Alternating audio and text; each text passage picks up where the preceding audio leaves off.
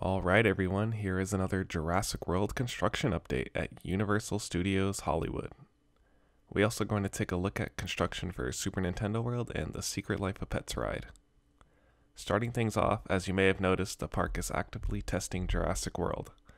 They were cycling boats non-stop during this visit.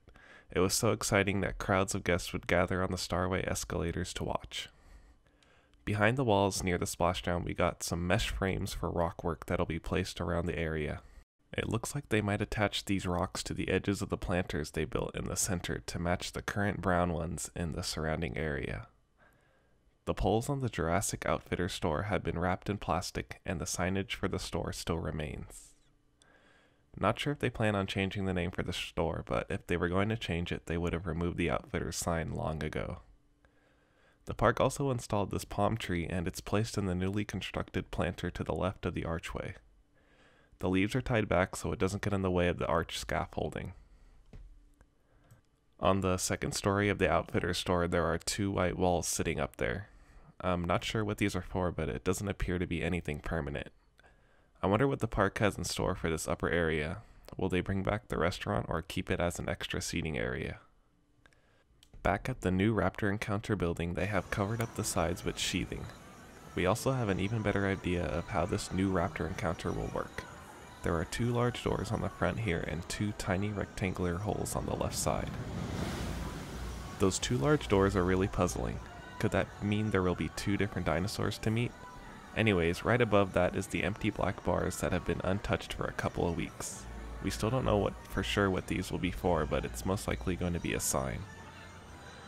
No noticeable work has been done to the archway since the last update, and the rest of the area looks pretty much the same. There was this big yellow crane sitting in the back by the final show building. The park is probably still in the process of loading new ride pieces throughout. This could be animatronics, trees, props, and more.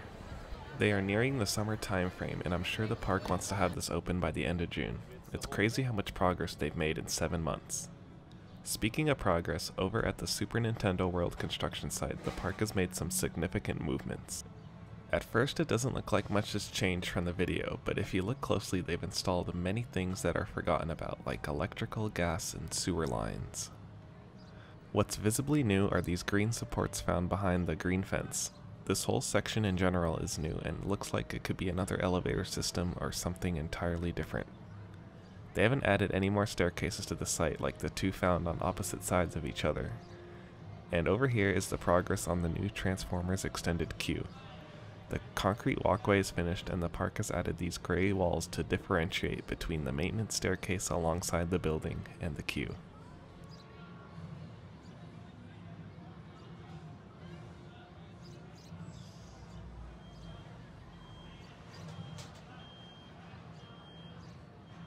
On the studio tour, we can see that the brand new first show building is nearing completion.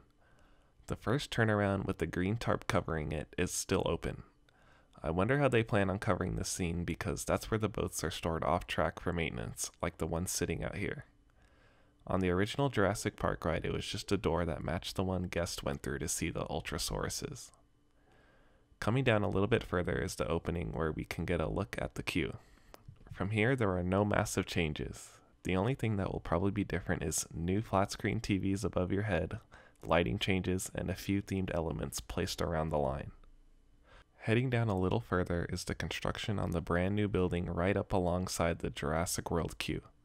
This is the same building that was featured on the last update, and from here we can see multiple openings on this side of the building. We don't know whether this building will be for Nintendo, Jurassic World, the Dino Play area, or just a maintenance building. Traveling even further down, we have some interesting things to point out for Nintendo World, such as this portion being much higher up than the right side. The layout of this new area is very unique and it will be interesting to see how it develops over the coming months. And here's another look at the two staircases that were built a couple weeks ago. These just appear to be emergency exits for the land, or if the elevators break. Finally, here is a quick look at the Secret Life of Pets ride, and as you can see nothing much has changed since the last update, other than covering the sides with sheathing. Well, that's just about it for this Universal Studios Hollywood construction update. We are so close to the opening of Jurassic World the ride as the park is working at a rapid pace to finish things up. Thank you for watching, and don't forget to subscribe to the channel if you want to see more updates from Southern California theme parks.